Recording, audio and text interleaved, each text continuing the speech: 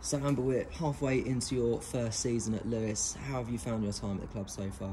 Yeah, amazing. Um, I know everyone would probably say that, uh, but it is the truth, and that's what the fans want to hear. But it is the truth. Um, it's just such a good club to be at. Um, that's on the pitch, off the pitch, kind of like behind the scenes, the stuff the club does um, in the community. It's just, it really feels like home to me.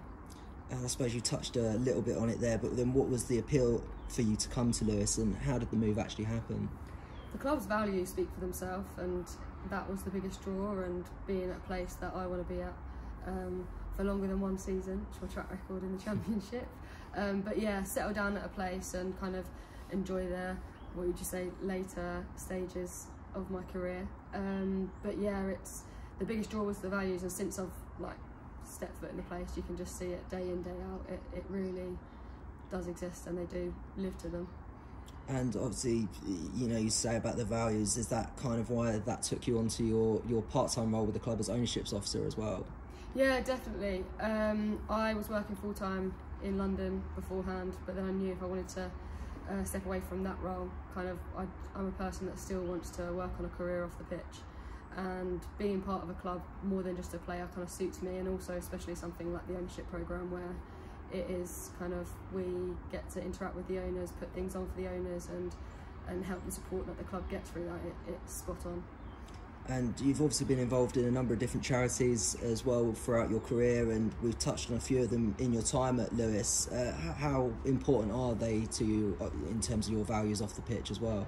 Yeah, massive. I am someone that stands by my values exactly why I kind of match with Lewes, but the work that I do off the pitch is what keeps me going. Um, like the mental health charity, obviously I've had my own experience, which I've shared that story, and now I'm through it, and obviously still live with it, but like um, work on it. My passion is now helping other people.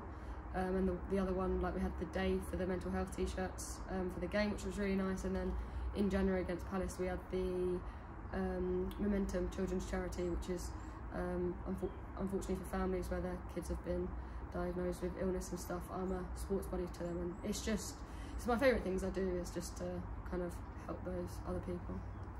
And uh, you're one of the more senior players in the squad, shall we say? Um, it is a very young squad. Um, how do you feel that your experience can help those younger players? Um, so I wouldn't have thought anything of that until probably this season or last season was the first time I thought, oh, I'm probably on the end, the end of the age spectrum here. But yeah, I'm the oldest at Lewes, which is mad to me because um, I'm still very young. Like at heart, I know I'm not really old, but like I'm probably one of the um, most mess around, jokey kind of ones. And someone called me grandma the other day, Crafty did, and I said, I'm not a grandma. I'm too young at heart for that. And she was like, Yeah, that's true, but kind of the club, like the staff, the players, have kind of made a point of it. Like, no, you are an older and experienced player. Like, we can learn from you. And like I said, I wouldn't have thought anything of that. I wouldn't have thought of being like the influence. Um, but I think my experiences and um, kind of I'm someone that puts 100% in. I think that will show. And I think younger people, I had a really good role models when I stepped up to the WSL. Um, like Helen Ward was one, she's still my good friend, and she helped me through that learning stage of what professional football is. And I feel now that I can help the other girls with that. And how have you found that experience of, uh, of having that at the club so far? Yeah, what being the older one influencing yeah. the younger ones. Um, honestly, I like it. Like like I said, my favourite thing is to help people, whether that's on the pitch, off the pitch, charities, or, or just normal day life. So I like it. I enjoy it, um, and yeah, it's just it is kind of summing up, I guess, my career, and I'm like realizing, okay, I have been playing in this league for a while. Okay, I have um, years of experience, which I didn't really think of. Um, but yeah, I enjoy it, and I like being that one that they can go to if they have anything they need to talk about or questions. But also sometimes I will kind of turn around and be like, guys, this isn't good enough, you know. Like, but um, I say good. Got some good feedback from the girls before Christmas, so I'm enjoying it.